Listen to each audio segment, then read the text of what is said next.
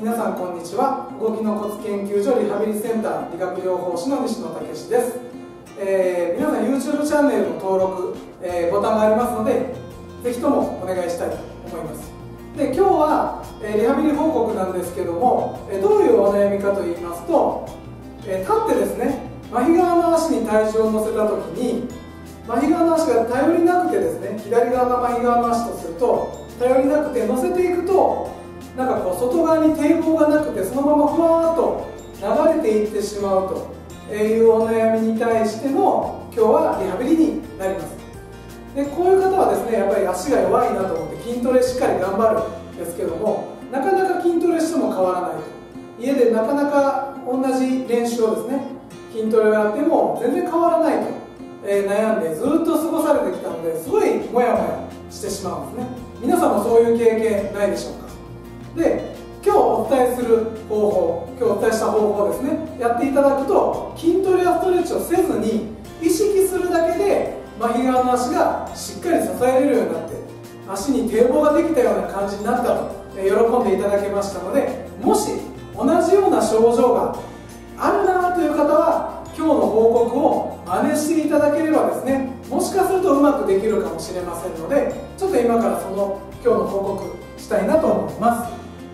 で、えー、まず立ったまま体重を乗せてみたんですけども乗せるとやっぱりこの足の外側ですね小指側の方に体重がふわーっと乗ってしまって全然支えてる感じがないと。このまま体がこう外側に溢れていきそうな感じになってしまうということで悩んでおられまし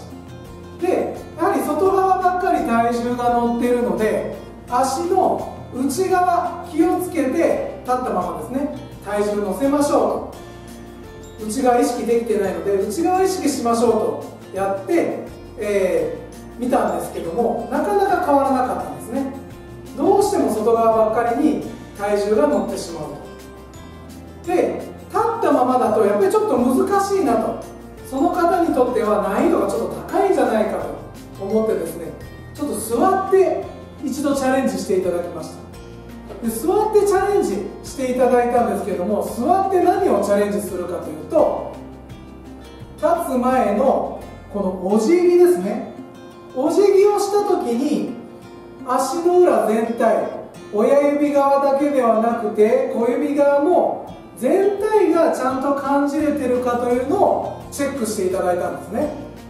でそうするとお辞儀の時点であなんとなく全体ついてるなというのは分かったんですけどもやっぱりまだ外側に逃げるような感じがあったりとかご本人の感想では親指ばっかりでちょっと頑張ってるということもおっしゃっておられました。そうすると外側感じれてないのかなと、ね、外側ばっかりでさ体重乗ってたので外側ばっかりで支えて内側感じれてなかったのかなと思ったんですけどもよくよく聞くと内側に力が入るので親指側でぐっと踏ん張って立ってたで体重乗せた時も親指側は分かるけど体重が乗った時に小指側が分からなくてそのまま流れてるということがあったんですね。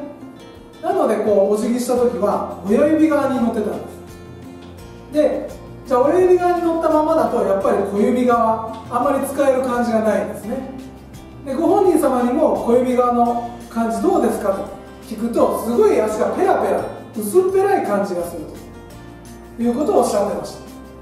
た。でお辞儀するだけではなかなか難しくてここでもう一つポイントがあったんですね。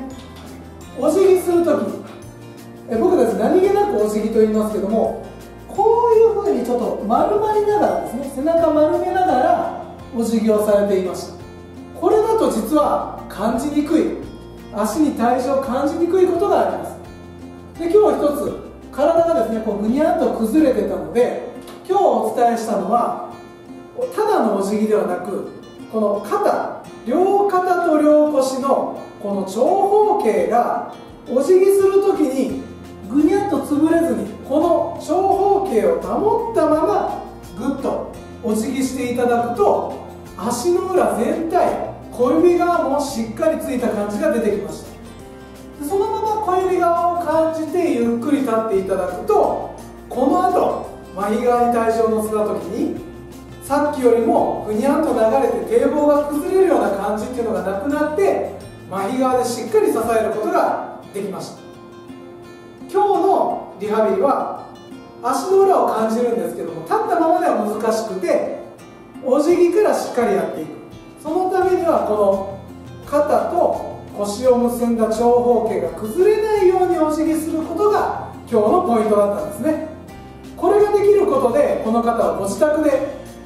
自分の麻痺側の足をしっかり支える練習というのができるようになりましたので皆さんももし同じようなことでお悩みの方はこの動画を参考にしていただければなと思います。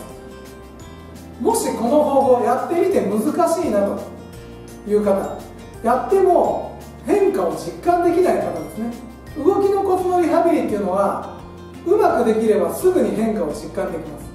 やってみて変化を実感できないなという方はこの方法が難しすぎる可能性もありますのでそういう時はどういう動画を次見ればいいかというとお辞儀で難しいとなると今度は座ったところが例えばもうこの長方形がうまくできてなくて体が崩れてるということが考えられますので動きのコツの動画を次見ていただく場合には